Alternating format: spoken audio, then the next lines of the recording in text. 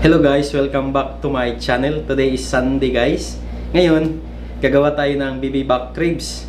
In, yung gamit natin ngayon guys is oven instead of smoker kasi yung smoker na pinagawa ko hindi pa tapos. So oven lang muna ngayon.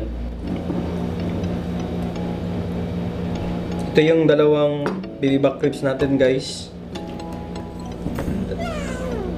So i-cut lang natin to dito kasi medyo malaki siya at para maganda din tignan cut natin to. Yung smubra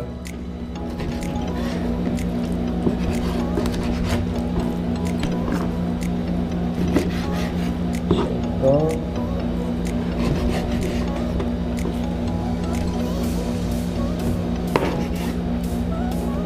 Ayan, ito siya. I-remove natin yung itong skin na to. Kasi pag naluto ito guys, ito yung pinaka matigas. So kunin natin to i-remove natin. Kung wala kayong paper guys, tawin yung gagamitin niya para makuha niyo to. Ito yung matigas pag maluto yung ribs natin. See? Inisin na natin.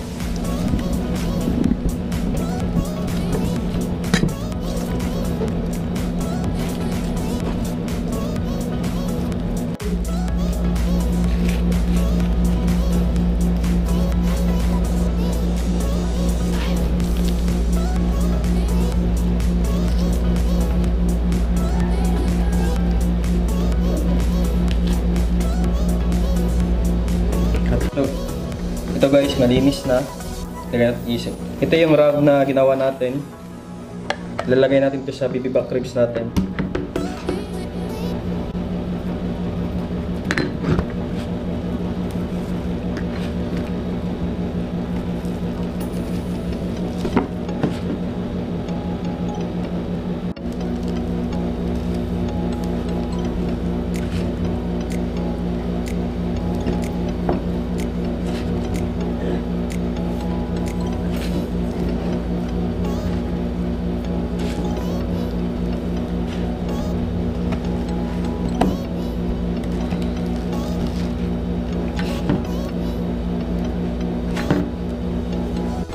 Preheat lang natin yung oven natin guys.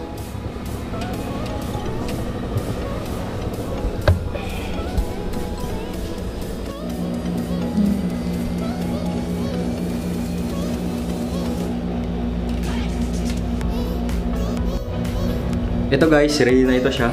Kapasok na natin to later sa oven. Dalawang BB back ribs.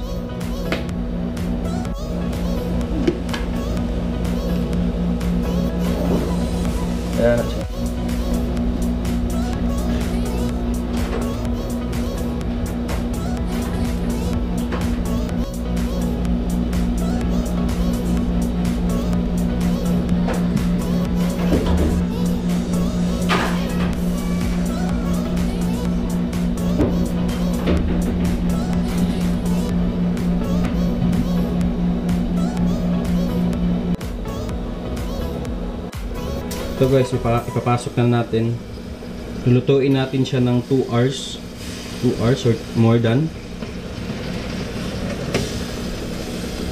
Set natin yung temperature niya to 180 degree. So, nakaset na siya guys ng 180 degree. Ganyan siya. See you in 2 hours. Close natin. So ito guys, 1 hour na siya. Lagyan, uh, sprayhan lang natin ng apple cider vinegar para hindi siya maging dry and maging juicy siya. Ito siya. Oops. Sprayhan natin ng apple cider vinegar. Look at that. Juicy.